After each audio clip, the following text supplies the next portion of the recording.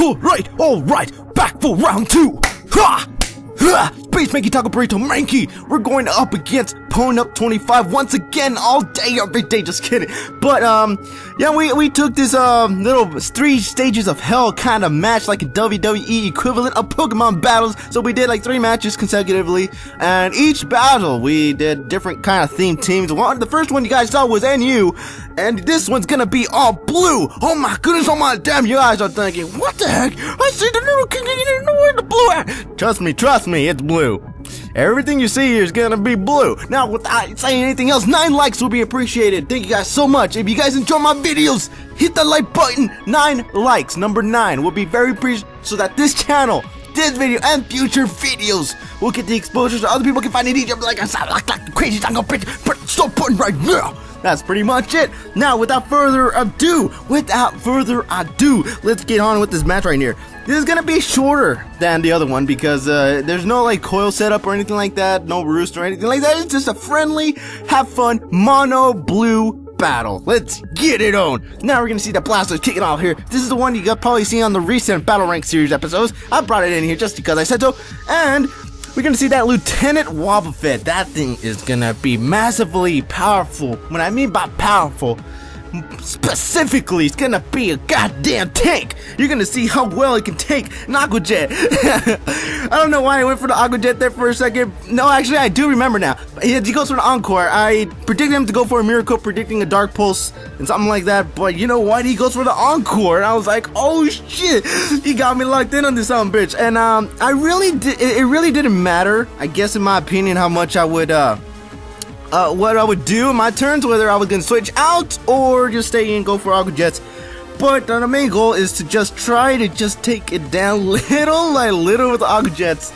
Seeing that um, he's very defensive and I don't, I, he could he, he had the potential of living any sort of hit, and he would just just counter back with the counter or Mirror Coat depending on what type of Pokemon I was gonna bring out. So for right now, it's gonna switch out now after going for a couple counters here, and I'm pretty much still locked in Aqua Jet. So I'm kind of glad he went he he switched out a little later in the Encore process, but uh, he goes for the Little Mac. So now he's dry skin on the ability, absorbing all the water type attacks, and that means I'm kind of in a pickle right now. He's gonna get a free turn something, but gladly my Encore ended and I went for the Ice. That's what I'm talking about. Get for the Ice trying to take as much damage as possible so that I can knock it out later because um, Toxicroaks tend to be a little bit dangerous. D -d dangerous. But you know what? So far so good, I guess. I'm gonna have to let uh, Mega Blastoise die seeing that um he lost a lot of HP and it's pretty much not gonna be of any use unless I want to use it as Death Father. But it's more important to knock down as much HP on this Toxicroak as possible, so I'm just gonna have to let die early in the match I somewhat at. But you see that Blue Nidoking, I told you, I told you, I told you. But you're gonna go into Regice there, and I'm gonna go for Earth Power, just trying to just go for the safest move possible. And Sheer Force, Choice Scarfed, Stab, Earth Power. Guess how much that took? Look at that! Only like 10%. What the heck? Well, you know what? I'm gonna have to switch out because I had nothing physically offensive for the Regice other than uh, mostly Swellow.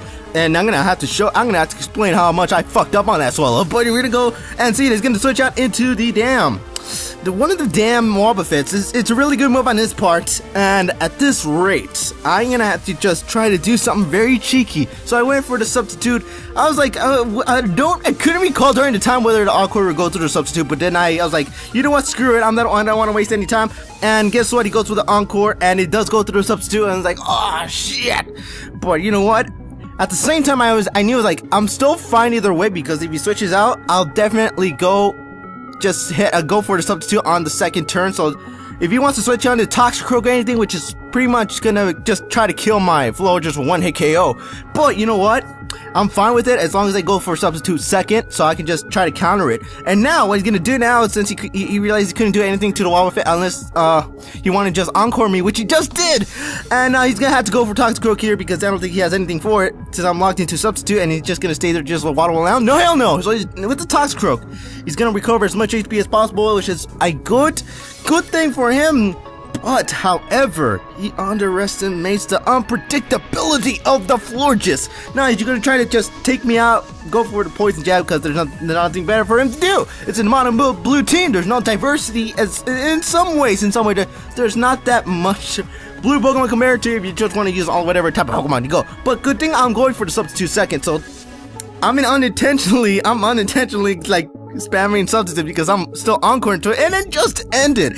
So he, he feels like he, he he feels pretty good, and uh, I was just waiting for the encore to end so I can whip him out with the surprise substitute phase with the surprise psychic. God damn it! Go for the surprise psychic, and it's gonna knock him out, and he he had nothing. He didn't had no idea that's gonna be coming. So down goes the Toxicroak, and I could have gone in for a, for a lot sooner, but like I already said before, the substitute substitute encore. God damn it! But I'm so I'm decently in a decent position, but I knew that in order to not get that Regice, I need the Swellow. I need, I need, I need, I need, I need, I need, I need the damn Swellow. So I go for the Moonblast, try to take as much damage as possible, so I can just knock it out with the Swellow later. And um, so far so good, and he's gonna go for the play rough, and he misses, and that's somewhat crucial to a degree, because I'm thinking he could have gone for the play rough Aqua Jet combo there, and he wasn't able to do so because he missed the play rough, and so that means I get another free Moon Blast. And that is okay with me, trying to secure the damage thing so I can just switch on to Swellow after Floor Florges dies because Floor Florges is going to be that much of a use because of the damn Regice. So I gotta find something to take care of that son of a bitch. And Floor Florges eliminating the damn Toxicroak, it's very important. It was very important that I did it, and now I felt like I was going to be in a decent position but I go into Swellow, try to take care of this damn Azumarill, try to get the Toxicroak and all that good stuff. But guess what? I go for that quick attack stab, and guess what? I'm like, well, look at that shit. And he goes for the superpower. So I went for the quick, quick attack stab protect because I predicted him to switch out to something that can take care of Swellow to a degree. And um, I thought quick quick attack stab. freaking for the freaking Swellow was gonna knock it out, but apparently that wasn't the case. And yeah, it really sucked. It really sucked. It pretty much sealed the deal for me here because I have a special Greninja here. I have, I think, uh, Nidoking, which is special. And I think that was the only two Pokemon left remaining here in this whole entire match here. So I knock out the Azumarill, but at the same time, now that Swellow has fainted, which was my trump card for the Regice, it doesn't matter where I can just get the flinches on this Wobbuffet. It really doesn't matter now. I don't think I have any more physically offensive top Pokemon here at this rate, but because he knocked out my Swellow, that pretty much sealed my fate, and I, I, I had no idea what to do at this point. So he's gonna keep on uh, going for the left. He got the leftovers going, and then I'm trying to get that freaking Dark Pulse flinches, and I did get the first one, I believe. So this is the second one. He goes for the Mirror Coat. It does not affect Greninja because he is a Dark type. He is Dark, not Psychic. Damn it, he is not gonna be affected by that shit. So Good thing I get to kill the free Wobbuffet, but at the same time, like I already said before, it does not really matter at this point because based on how much, how well the Regice took the damn special offensive attacks from the damn uh, King—it wasn't gonna be that much of a use. But I go for the Dark Pulse here and try to get some flinches, I guess. I don't know what else I can do at this point, but I get the crit, doesn't really matter. He goes for the surf, it is neutral because I'm only a Dark type. Go for the surf here, and I was gonna take uh, probably a huge chunk of damage there, goddamn. So at this rate, I was like, eh, I don't know what to do here. I don't know what to do here. But he switches out, I guess, trying to go save the Greninja for later. As he goes into the Regice, he's trying to be as safe as possible to try to secure the game because he feels like he got this in the bag now, seeing as much damage like, like how well it eats up the damn special attacks from both Greninja and Nidoking. And now I have to switch out, trying to I guess I don't know what else I was trying to do, man. I was trying to maybe like trying to figure out what I can do here. But I go into Tangrowth here, and he, as he goes for Thunderbolt, it's all right. That uh, I mean, I could have gone for this clean switch into Tangrowth, trying to get as much advantage possible. But since he took the Thunderbolt, doesn't really matter. So I'm good with this uh Tangrowth here. So I'm gonna go for nothing nothing first, but we're gonna go see he's gonna have to endure the ice beam as Chunky Funk the Tanker goes for the focus blast like praying, God damn it, please get me a crit or some high roll damage, and that was pitiful, like 30%, like barely 30%. Like god damn.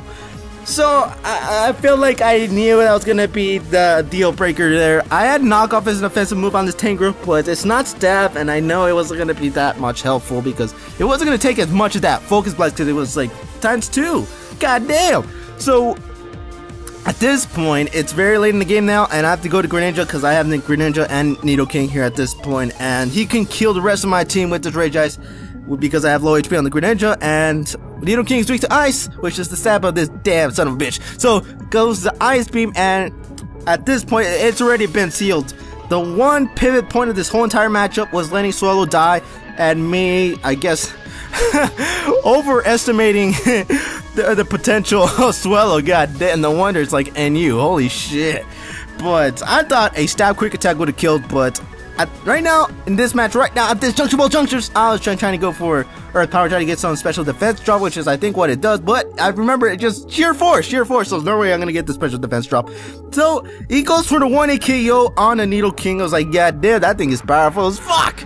But, like I said before, he had the game sealed once my Swellow was down because looking at my team, that was my main physically offensive man, and I guess that was for me to blame. But I was just putting all the blue team together. I was like not really just assembling all the balancing things, but I was like, I'll put all these cool like blue Pokemon here. But if you like this battle, so that's gonna be 1-1. And the third round, I'm planning on keeping that um, that battle until another person's channel in the name of Mobone CC uploads it so that I can upload it to you guys. So first it'll be Mobone and then it'll be me. So nine likes will be very precious for this channel and the freaking videos and the future videos that I'm gonna produce for you guys so that you can get the exposure so other people can find the crazy content out like a black clock. Oh my goodness, but Brianna, yeah.